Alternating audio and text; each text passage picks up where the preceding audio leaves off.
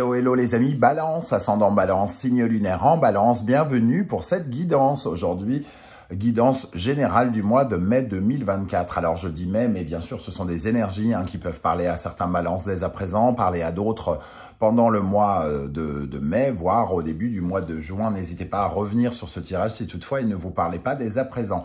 Je vous rappelle que c'est un tirage général qui ne peut pas parler à tous les balances de la même façon. Donc vous prenez uniquement les messages qui vibrent avec ce que vous vivez actuellement. Vous n'hésitez pas à euh, adapter mon vocabulaire à votre situation pour avoir des messages plus précis. Je vous recommande bien évidemment de regarder la vidéo de votre signe ascendant et de votre signe lunaire, peut-être pour avoir des compléments d'information ou recevoir d'autres messages.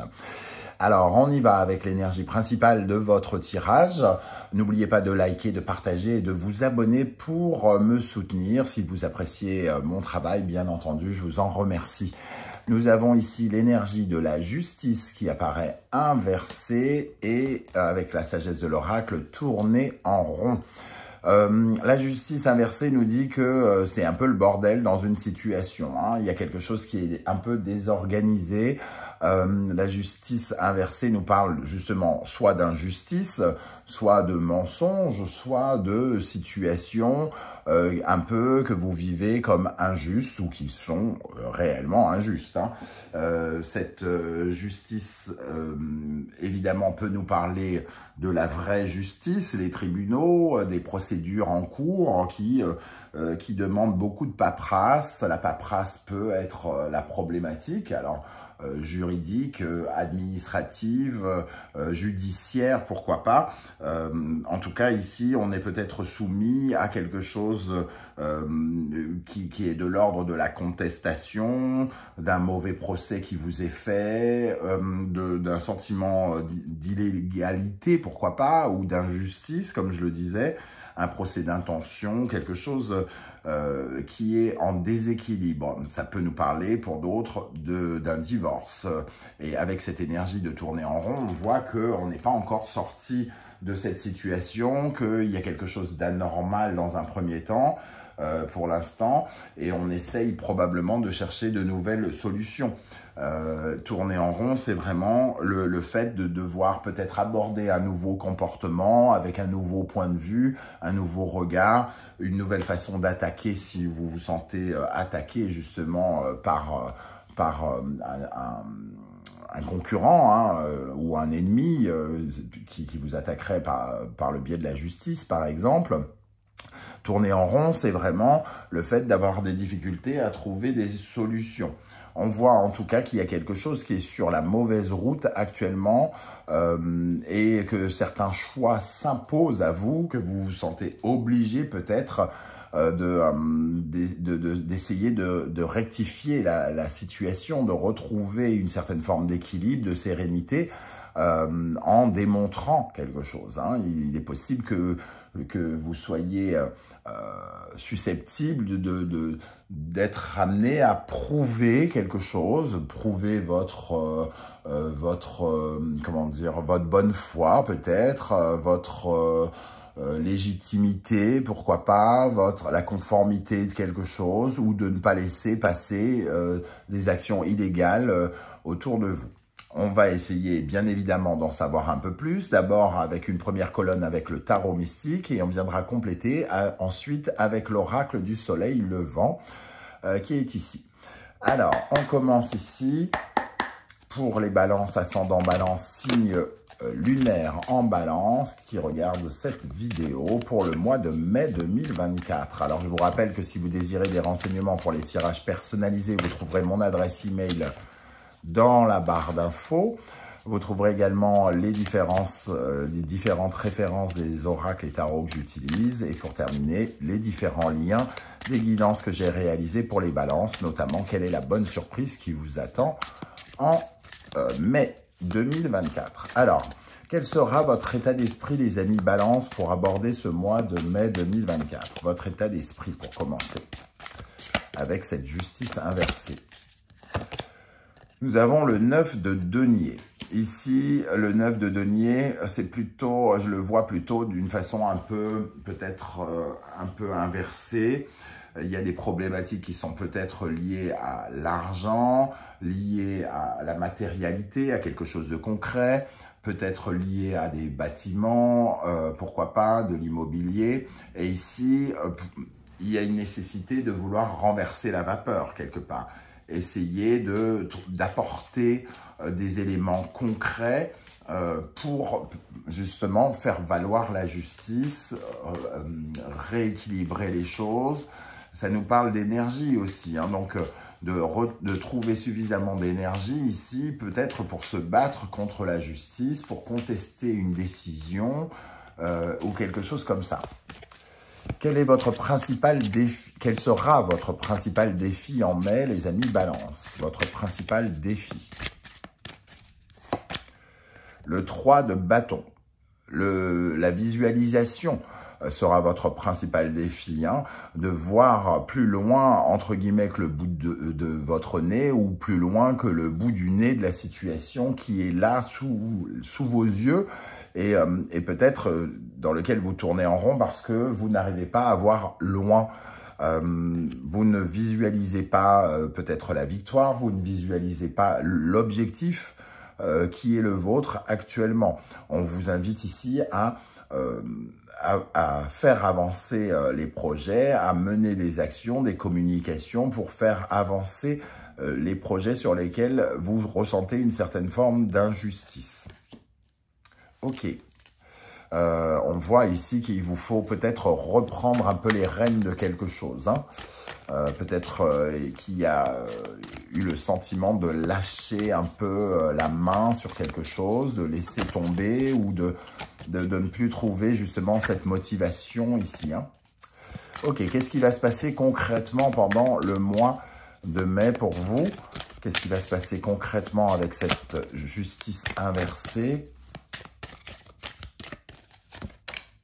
Le fou, c'est le moment effectivement d'oser quelque chose, de vous aventurer sur des terres euh, jusque-là inconnues. Hein. Peut-être que le tourner en rond justement et ce fou, ça nous dit que, bon, il faut euh, essayer quelque chose de neuf. Essayer, oser quelque chose de neuf. C'est le moment, justement, alors c'est soit, euh, par exemple, s'il y a une procédure au tribunal, soit changer l'avocat qui vous défend, qui vous défend pour l'instant mal, soit opter pour une nouvelle défense, une nouvelle attaque ou quelque chose comme ça. Qu'est-ce qui va particulièrement... Oups, je fais bouger le Oh, zut, la caméra, excusez-moi. Qu'est-ce qui va particulièrement vous aider? Quelle énergie va particulièrement vous aider en mai 2024 La reine d'épée, la recherche d'informations, être en quête d'informations. Euh, c'est le, moment de chercher la vérité. La vérité qui soit vous est cachée, euh, soit euh, vous empêche d'avancer. La reine d'épée, elle fournit des informations, elle fourmille d'informations, elle possède des informations ou elle les cherche. Hein. En tout cas, elle est dans la communication d'informations, elle discute, elle parle, elle émet des hypothèses, elle, elle, émet de nouvelles idées. voilà, elle est très à l'aise avec la créativité de nouvelles idées. Donc on vous dit, soyez dans l'imagination et communiquez avec des informations nouvelles. Qu'est-ce qui, au contraire, peut freiner les balances en mai 2024 Qu'est-ce qui pourrait freiner les balances? Nous avons le 7 de bâton. Euh, le 7 de bâton, c'est quand on défend ses valeurs, ses principes. Et ici, ce qui pourrait vous freiner, c'est peut-être justement de ne pas vous battre de ne pas être dans la persévérance, de ne pas être, euh, de laisser euh, vos valeurs, vos principes justement à la merci peut-être de, quelqu'un ou de quelque chose. Ici, c'est entre guillemets avec le tourner en rond et, le sentiment qu'il y a une certaine forme de désordre, j'ai quand même le sentiment que euh, soit le désespoir, soit la fatigue, soit quelque chose vous a fait perdre un peu pied, que vous avez un peu laissé tomber euh, une certaine forme de défensive. Et ici, on vous dit persévérer, ne lâchez pas l'affaire, hein, défendez vos intérêts, défendez euh, ce qui vous tient à cœur, faites preuve défendez votre personnalité, faites bouger les barreaux de votre cage, hein, ne lâchez pas. ça se passe sur peut-être la durée quelque part. Il y a quelque chose qui peut se passer par rapport à la durée. Qu'est-ce qui se passe dans le domaine émotionnel, affectif, relationnel, amoureux? Comment ça résonne avec le cœur, cette justice inversée pendant le mois de mai? Le 8 de bâton. Effectivement, émotionnellement, on vous demande ici de... Euh, alors, d'une part, de croire en certains des signes qui pourraient euh, euh, particulièrement se présenter pendant, ce mois de mai. Et le 8, c'est toujours, il faut passer à l'action. Hein. C'est le moment de passer à l'action, de réveiller un petit peu les émotions, de ne pas se laisser peut-être ensevelir sous les émotions et d'être dans l'ambition, l'action, le mouvement, de multiplier le mouvement ici, hein, de se débattre de se remettre sur la défensive quelque part, hein, pour défendre ce qu'on a à défendre. Qu'est-ce qui va se passer d'un point de vue matériel, concret, financier ou professionnel? Pour vous, les balances, ici, l'as de denier, une opportunité qui se présente, une occasion, euh, quelque chose qui se présente de concret. Euh, alors ça peut être une offre, euh, ça peut être, si on parle de justice, ça peut peut-être être une nouvelle preuve, euh, puisqu'on voit en plus cette reine qui observe directement l'as de, de denier, il peut y avoir l'accès à de nouvelles preuves. On peut vous faire une offre d'un point de vue professionnel ou une offre d'un point de vue financier qui peut vous sembler d'abord injuste ou euh, qui demande justement une analyse particulière. L'as de denier ici, ça peut être une offre professionnelle euh, ou avec l'injustice ici, il va peut-être falloir regarder un peu les petites cases, les, euh, les clauses du contrat, par exemple, qui pourraient être amenées à être un peu changées hein, pour défendre vos intérêts ici, par exemple. Il y a quelque chose qui peut être insatisfaisant ou en votre défaveur indirectement. Et dans ce cas-là, on vous dit d'oser quelque chose, de vous aventurer sur une nouvelle terre, de tenter quelque chose. Qu'est-ce qui se passe d'un point de vue spirituel, psychologique, intérieur pour vous dans quel état vous serez intérieurement, les amis? Balance. Le 5 de bâton. Peut-être que justement, c'est le moment où vous retrouvez un petit peu de vos forces pour retrouver du leadership ici et avoir envie, entre guillemets, de d'être dans la bataille. le 5 de bâton nous parle de concurrents nous parle de euh, contestation, nous parle de, combat, hein, de procès. Alors quand je dis procès, elle nous parle pas directement de procès, mais ici, euh, ça nous parle de quelqu'un en face, hein, contre qui, entre guillemets, on peut se battre. Et, euh, et ce 5 de bâton, il est là pour réveiller votre combativité quelque part.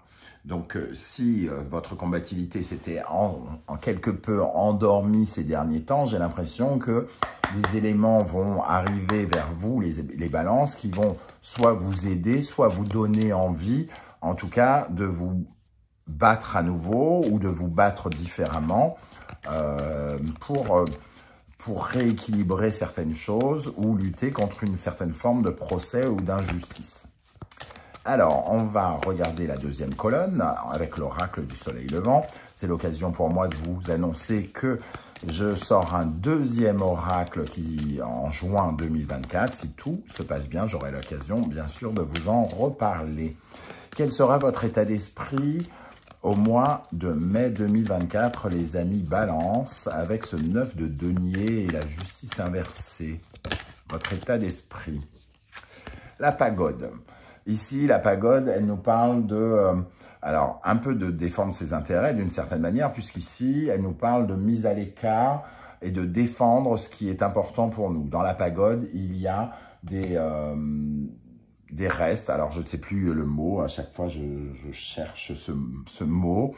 Il, y a des... Euh, ah, les dents de Bouddha, par exemple, et on vénère et on garde précieusement euh, en, conserve. en conserve, non, c'est pas les dents de, dans une boîte de conserve hein, non plus. Mais voilà, vous voyez euh, ce que je veux dire. Euh, ici, il y a euh, peut-être une détermination à défendre quelque chose qui est notre temple secret, qui est notre, notre endroit de vie, qui est notre, notre antre, notre jardin, oui, notre jardin secret, quelque chose que l'on possède, que l'on veut défendre euh, ardemment euh, ici. Hein. En tout cas, un sentiment de solitude euh, qui nous a peut-être épuisés. et ici, il y a peut-être le besoin de reconquérir quelque chose d'important pour soi. Quel sera le principal défi que vous aurez à relever en mai avec le 3 de bâton on disait allez de l'avant et vous visualisez davantage. Le samouraï. Le samouraï, c'est vraiment euh, justement de retrouver le courage, la détermination de se battre, hein, de se sentir puissant, de se sentir fort. Euh, ça nous parle de force intérieure aussi, hein, euh, d'énergie intérieure. On voit ici que pour se défendre, on n'a pas forcément besoin d'une carapace, d'une armure, on peut être euh, comme lui à poil et se sentir puissant, se sentir fort. La force, c'est un tempérament. La détermination, le courage, la bravoure sont un tempérament avant d'être euh, une arme, un outil que l'on possède. Hein. C'est quelque chose qui est dans votre, euh, dans votre âme, dans votre corps. Et on vous invite à vous reconnecter avec cette force, cette persévérance. Ok, qu'est-ce qui va se passer concrètement avec ce fou et cette justice inversée, avec le fou et la justice inversée, nous avons les chiens-lions. La défensive, on parle de bulle ici, hein. on voit cette bulle et on retrouve l'énergie de la bulle euh, ici. Euh, les chiens-lions, ce sont ces deux euh, statues à l'entrée des sanctuaires et des, temples bouddhistes hein, au Japon et, un peu partout en Asie d'ailleurs. Euh, et ça représente une protection contre les forces maléfiques, contre les forces négatives.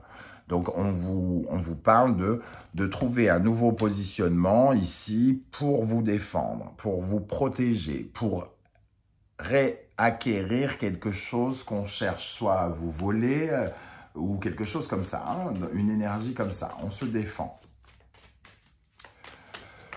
Qu'est-ce qui va vous aider avec la reine d'épée? Oups, alors, j'ai pas eu le temps de poser mon intention. Qu'est-ce qui va vous aider avec la reine d'épée, les amis? Balance Quelle énergie va vous aider avec cette reine d'épée et la justice? Le sanctuaire.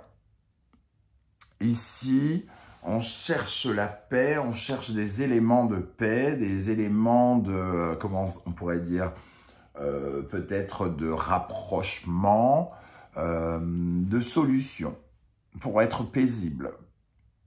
La reine d'épée, elle cherche la validation de ses prières aussi, hein, quelque part. On voit cette jeune femme ici qui prie. Euh, en tout cas, vous êtes en quête de sérénité, d'équilibre, peut-être de conciliation pour certains d'entre vous par rapport à ce mauvais procès. Qu'est-ce qui, au contraire, pourrait vous ralentir avec le 7 de bâton Quelle énergie pourrait ralentir les balances avec le 7 de bâton et la justice inversée? L'éventail, euh, peut-être un manque de communication euh, pour certains, hein, parce que cette carte nous parle justement de la communication, une communication officielle et verbale, très euh, peut-être un peu codifiée. Euh, ici, on nous, euh, on vous invite à, à ne pas ce qui peut être problématique, c'est de ne pas défendre ses intérêts et finalement d'en faire qu'à sa tête, de se sentir un peu isolé, parce que soit on n'écoute pas les conseils, soit on, on n'est pas ouvert. Euh, on n'a pas les oreilles ouvertes, on n'a pas la bouche ouverte, on n'a pas les yeux ouverts. Donc, euh, on vous invite justement à regarder certaines vérités en face et aborder les choses peut-être euh, de façon plus ouverte au conseil, à l'aide qui pourrait vous être apportée. Ok Alors, d'un point de vue émotionnel, d'un point de vue émotionnel, euh, amoureux, relationnel, avec ce 8 de bâton qui vous demande de rentrer en mouvement de façon, entre guillemets, urgente. Qu'est-ce qu'on a avec le 8 de bâton? Le ninja.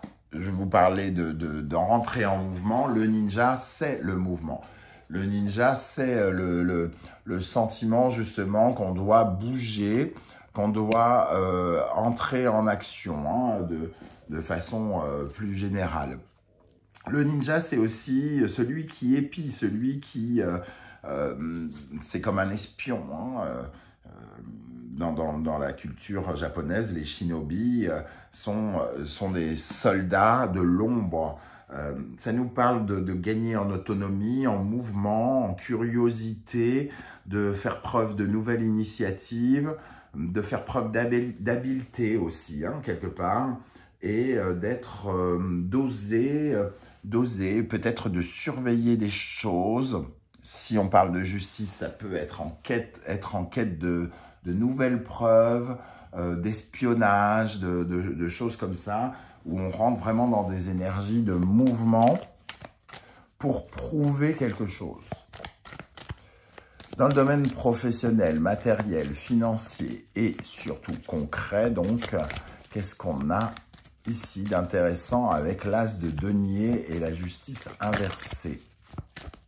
Avec l'as de denier et la justice inversée, nous avons le cimetière. Ici, il peut y avoir une offre, une occasion, un élément euh, nouveau, hein, avec classe, qui vient, changer la, qui vient changer la donne, qui vient transformer euh, votre vie matérielle, concrète ou financière. Ce, cimetière, qu'il ne faut pas voir comme une carte négative, hein, euh, représente bien sûr une mort symbolique pour une renaissance sous une autre forme, euh, elle nous parle de la fin nécessaire de, quelque chose et d'être beaucoup plus attentif à certains dangers, hein, de couper avec, euh, avec une certaine forme de passé qui nous relie euh, au danger. Donc, j'ai l'impression que vous aurez une occasion ici d'obtenir quelque chose de précieux pour votre défense, pour vous solidifier, pour vous rééquilibrer quelque part d'un point de vue financier, d'un point de vue professionnel ou matériel. Dans le domaine spirituel, psychologique, intérieur, avec ce 5 de bâton, qu'est-ce qu'on a pour les balances? Le Daruma.